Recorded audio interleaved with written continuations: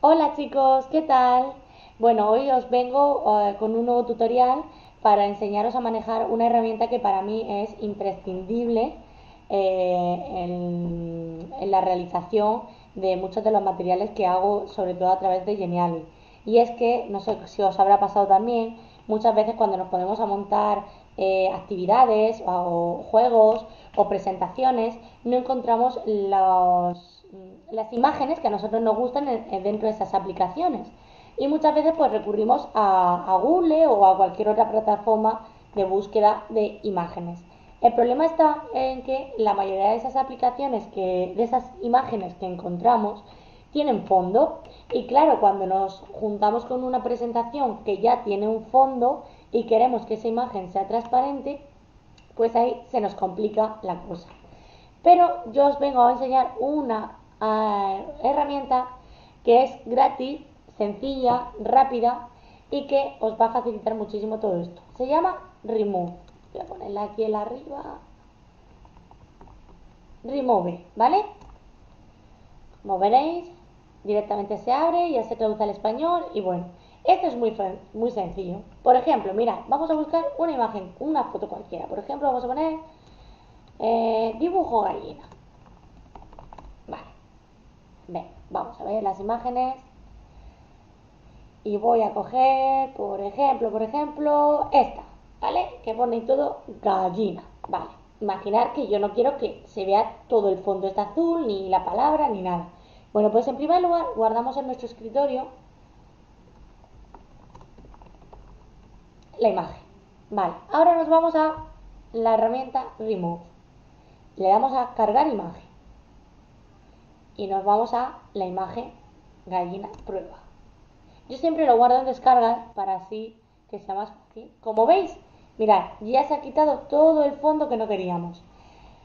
Ahora solo tenemos que coger y darle a descargar. Y ya estaría directamente descargar por ejemplo, nos vamos a nuestro documento, imaginar que tenéis un documento Word con un fondo eh, bien en color o bien con, otra, con cualquier otra imagen y queremos insertar nuestra gallina sin fondo. Pues ya nos vamos a descargas, le damos a la gallina y aquí tenemos a nuestra gallina.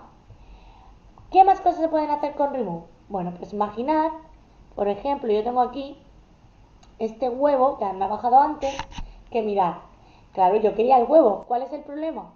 Que como el huevo es blanco, pues también muchas veces va a pasar que en imágenes que tengan fondos y colores blancos se os va a eliminar. Ahora diréis, madre mía, ¿ahora qué hago? Ya no me sirve. Bueno, pues ahora tenéis aquí esta opción que se llama editar y aquí veréis que, bueno, podéis hacer diferentes cosas con la imagen, ¿no? ¿Lo veis? Pero además de ello podéis darle a borrar y a restaurar. ¿Qué significa? Imaginar que yo quiero, por ejemplo, que esta manchita no se vea. Pues le doy a borrar y se borra. ¿Lo veis? Ahora, borrar. Ahora, imaginar que yo quiero que se vea todo, pero se ha borrado, pues le damos a restaurar. Aquí podéis elegir el tamaño del pincel. Para los márgenes yo pongo un tamaño pequeño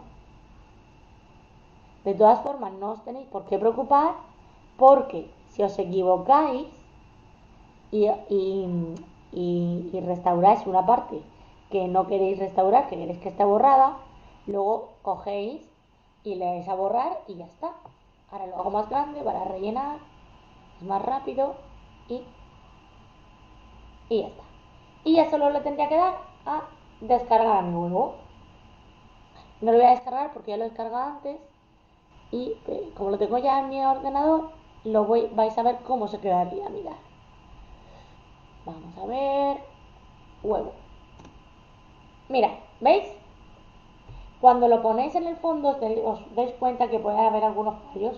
Pues bien, podéis meterse otra vez en la imagen y rectificarlos o eh, dejarlos si no se nota mucho, ¿vale? Y bueno, hasta aquí es lo que podéis hacer con la herramienta. Para mí es súper útil, súper sencilla, súper rápida y, ya te digo, solo tenéis que subir cualquier imagen que encontréis por cualquier buscador de imágenes. ¿De acuerdo? Es gratuita, no tenéis máximo ni mínimos de subir y bajar y, Y nada, espero que os sea útil y que os sirva para vuestro día a día. Un saludo.